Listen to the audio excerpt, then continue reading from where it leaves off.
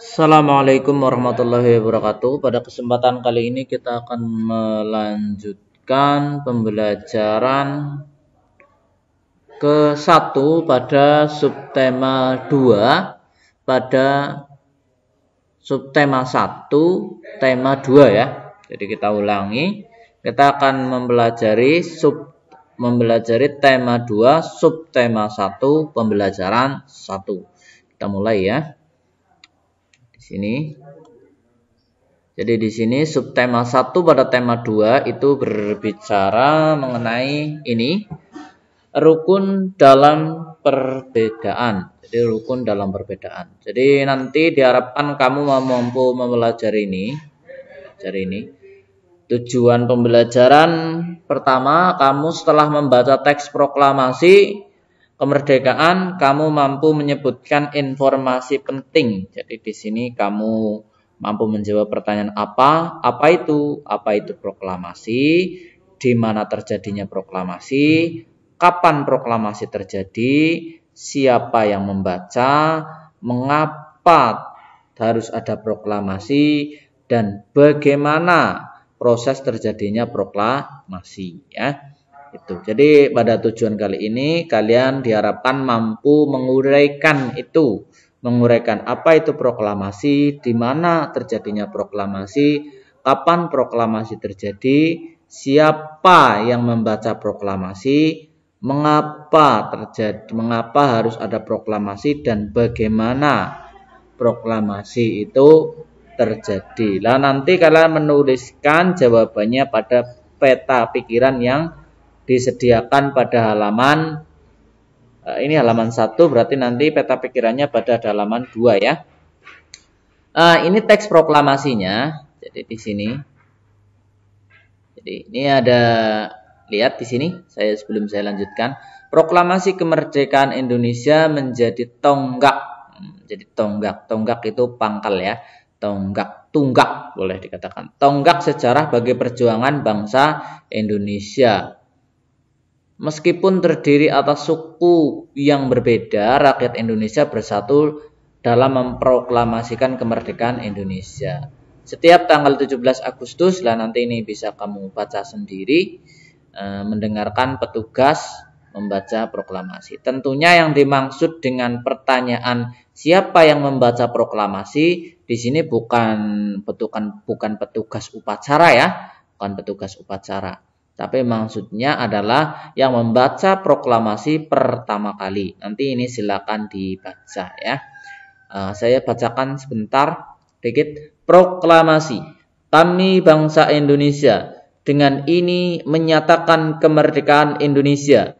Hal-hal yang mengenai pemindahan kekuasaan dan lain-lain diselenggarakan dengan cara seksama dalam tempo yang sesingkat-singkatnya. Jakarta hari 17 bulan 8 tahun 05 atas nama bangsa Indonesia Soekarno Hatta. Perhatikan tahunnya 17 bulan 8 tahun 05. Ini tahun Jepang ya, tahun Jepang. Ini tahun Jepang. Yang dipakai tahun Jepang. Nah, kamu nanti bisa pada pertanyaan, pertanyaan kapan, ini kan berkait dengan waktu. Bisa ditulis tahun Jepangnya dan tahun Indonesianya. Baik, saya akan lanjutkan ke halaman 2-nya.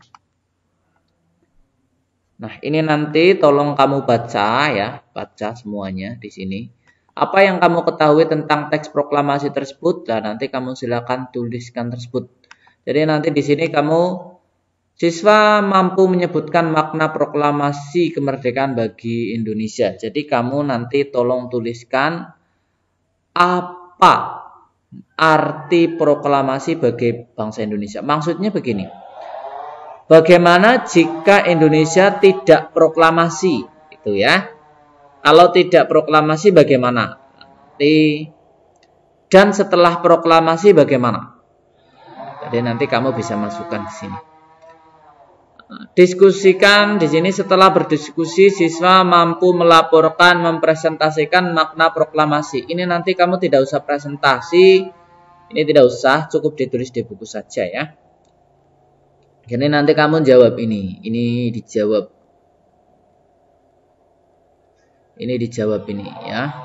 Tolong dijawab, ini juga dijawab. Ini dijawab. Hal apa yang ingin kamu ketahui tentang proklamasi? Lah, ini kemudian ada teks di bawahnya. Ini silakan nanti dibaca teksnya. Dibaca sampai selesai ya.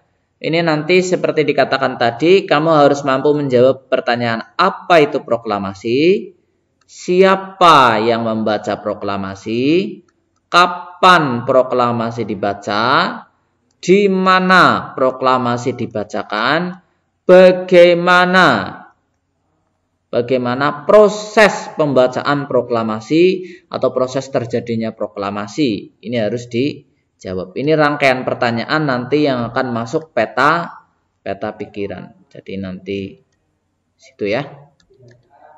Kita lanjutkan pada halaman selanjutnya. Nanti kalau masih bingung videonya diulang lagi. Nah, kemudian ini peta pikirannya. Nah, ini kan pertanyaan-pertanyaan yang tadi yang kamu dapat dari teks. Eh, kamu juga dapat mencari jawabannya kalau bingung itu di boleh dicari juga di Google. Nah, boleh kamu cari di sana di internet, boleh. Internet. Terkait apa? Apa itu proklamasi? Mengapa harus ada proklamasi? Siapa yang membaca proklamasi? Bagaimana terjadinya proklamasi? Kapan proklamasi terjadi? Di mana proklamasi dibacakan? Yaitu nanti kamu baca dulu pada halaman depannya ini pada halaman 2. Lah kalau kamu tidak menemukan di situ kamu dapat mencari di internet. Gitu ya, paham ya? Paham lah. Nanti setelah ini ditulis, ditulis, ditulis isinya, lalu nanti kamu yang ditulis di sini tolong dijadikan sebuah cerita, ditulis di sini. Nah, jadikan cerita baru, jadikan cerita baru dengan bahasa dengan bahasa kamu ya, dengan bahasa kamu, dengan bahasamu sendiri dengan bahasamu sendiri ya. Dengan bahasamu sendiri. Samu sendiri. Silakan dengan bahasamu sendiri ditulis di sini ya. Silakan ditulis. Ceritanya memuat tentang apa, mengapa, siapa, bagaimana, kapan, dan di mana. Saya lanjutkan pada halaman keempat, pada halaman keempat. Nah, ini masih berbicara tentang ini. Uh, menjelang proklamasi kemerdekaan, perbedaan daerah, agama, suku bangsa bukanlah penghalang. Jadi sini perbedaan bukan penghalang. Bukan penghalang apa? Bukan penghalang untuk berkumpul. Bukan penghalang untuk berkumpul. Perbedaan sempat terjadi, namun pada akhirnya mereka bersatu. Jadi Perbedaan bukanlah penggalang untuk berkumpul. Perbedaan memang pernah terjadi, tapi akhirnya mereka bersatu. Untuk memproklamasikan kemerdekaan Indonesia. Pada waktu itu semangat persatuan sangat menonjol. Waktu itu maksudnya adalah waktu proklamasi. Bangsa Indonesia memiliki tekad yang kuat, tidak ada jalan yang lain dalam usaha dalam usaha memproklamasikan kemerdekaan kecuali menjalin persatuan dan kesatuan. Hal ini mencerminkan kerukunan dalam perbedaan. Jadi waktu proklamasi itu ada kerukunan dalam perbedaan. Rukun antar siapa? Antar orang yang berbeda daerah, berbeda agama, berbeda suku. Mereka rukun. Rukun itu akur. Akur itu tidak bertengkar. Walaupun mereka asalnya beda. Satu dari Jawa, satu dari Sumatera, satu dari Kalimantan, satu dari tempat yang lain. Mereka bersatu walaupun mereka berbeda agama. Satu Islam, satu Kristen, satu Buddha, satu Hindu, satu Konghucu. Mereka bersatu. Bersatu untuk apa? Memproklamasikan kemerdekaan Indonesia. Nah, tulislah Makna proklamasi, makna itu arti ya. Tulislah makna proklamasi kemerdekaan bagi bangsa Indonesia di kolom berikut. Nanti kamu baca-baca lagi bacaan sebelumnya. Nanti kalau kamu tidak tahu, kamu bisa cari di internet ya. Jawabannya maksudnya. Lah ini eh, ini ya. Ini yang lain. Ini silakan dibaca. Makna proklamasi, tahukah kamu makna? Makna penting. Penting apa? Proklamasi. Makna penting. Ini saya hapus dulu ini, saya tulis dulu supaya saya garis-garis yang penting ini ya. Makna penting proklamasi bagi siapa? Bagi bangsa Indonesia. Makna penting proklamasi bagi Indonesia. Eh, garisnya salah ya. Makna penting proklamasi bagi Indonesia. Apa saja? Nah, ini. Pertama, puncak perjuangan. Kedua, pengakuan dari dunia luar bahwa bangsa Indonesia itu ada. Ketiga, menaikkan martabat bangsa. Nah, ini ada tiga makna penting. Nanti penjelasannya lebih banyak, nanti kamu baca ini secara detail, secara hati-hati dan semuanya dibaca ya. Yang ini ya, jangan lompat-lompat. Kemudian selanjutnya saya lanjutkan pada halaman selanjutnya. Nah, di sini ada makna penting lagi uh, perjuangan sebagai negara baru lah ini nanti dibaca silakan nomor 5 uh, eh, nomor 4 dan 5 ya nanti selanjutnya kamu tuliskan tiga makna penting proklamasi kemerdekaan menurut kamu jadi di sini kamu tulis tulis selain lima yang telah disebutkan lima yang telah disebutkan itu tadi ya Selanjutnya kita akan masuk pada pelajaran selanjutnya. Tahukah kamu diperlukan kemampuan untuk melakukan penyesuaian diri, adaptasi. Ya. Adaptasi itu penyesuaian. Ketika kita ingin menciptakan kerukunan dalam perbedaan. Jadi butuh penyesuaian dan adaptasi di sini.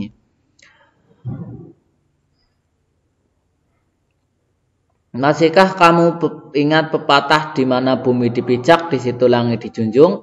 Pepatah itu mempunyai makna apabila kita berada di tempat yang baru, kita perlu menyesuaikan diri dengan keadaan setempat agar kita bisa diterima dan hidup berdampingan dengan damai. Hal ini juga berlaku pada tumbuhan agar keberlangsungan hidupnya terjamin. Maka tumbuhan harus mampu melakukan adaptasi kondisi lingkungannya.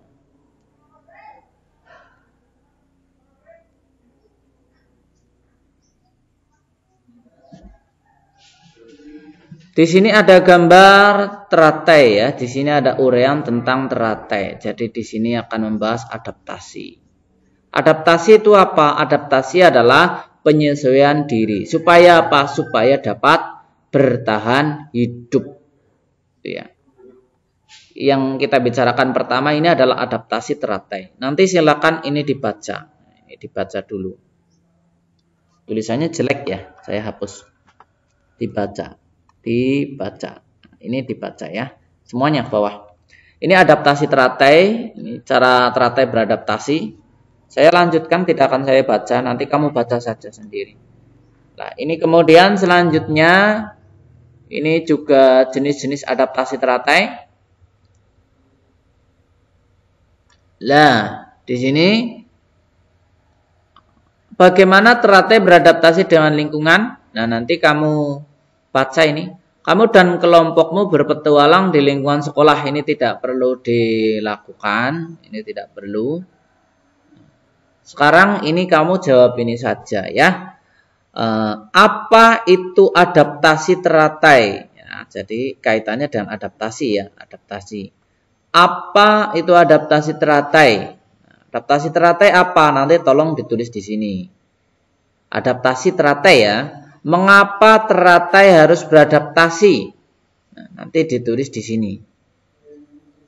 Siapa saja yang nah, siapa? Kayak siapa ini kita ganti siapanya ya. Siapa? Bagian mana? Nah, gitu ya. Bagian mana pada bunga teratai yang melakukan adaptasi. Bagian mana?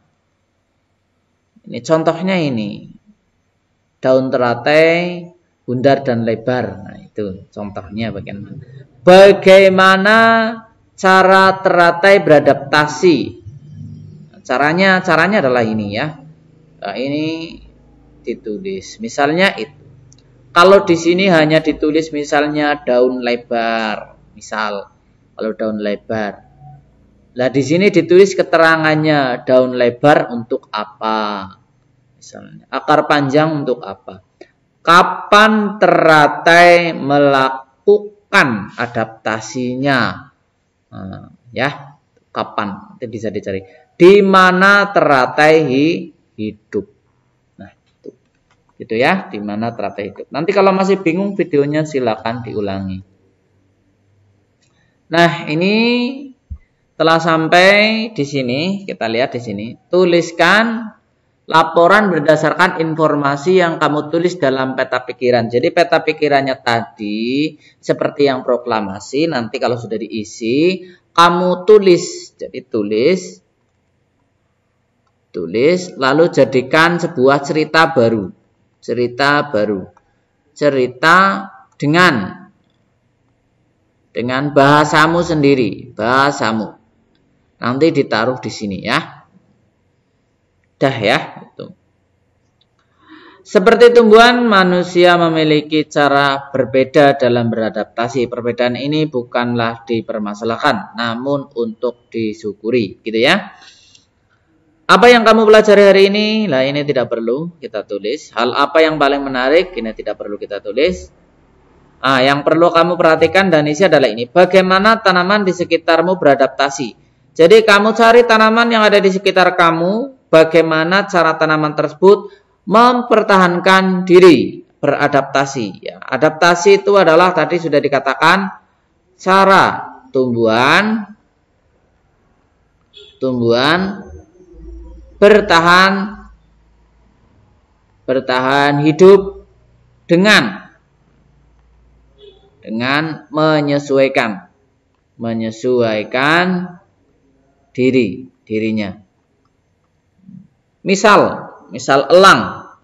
Elang itu makannya daging.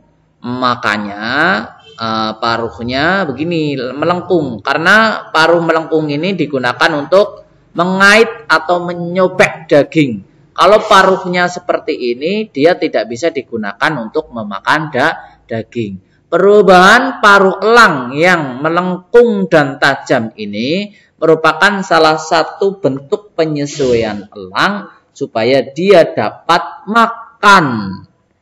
Tujuannya makan adalah dia bertahan di hidup. Maksudnya seperti itu ya. Contoh orang hutan bulunya lebat. Kenapa dia memiliki bulu yang lebat? Karena dia harus bertahan hidup di hutan. Hutan itu dingin. Hutan itu dingin dan orang hutan tidak bisa membeli bah baju. Karena orang hutan tidak bisa memberi baju, maka dia menumbuhkan bulunya yang lebat untuk menghangatkan tubuhnya supaya dia dapat bertahan hidup di hutan. Itu adalah salah satu contoh menyesuaikan di diri supaya dapat bertahan hidup. Itu namanya adaptasi. Nah, nanti kamu cari tumbuhan di sekitarmu Lalu tentukan cara tumbuhan itu beradaptasi atau cara tumbuhan itu dapat tetap hidup dengan lingkungan yang ada di sekitarnya. Saya kira pembelajaran kali ini saya cukupkan sampai di sini dulu. Saya tutup.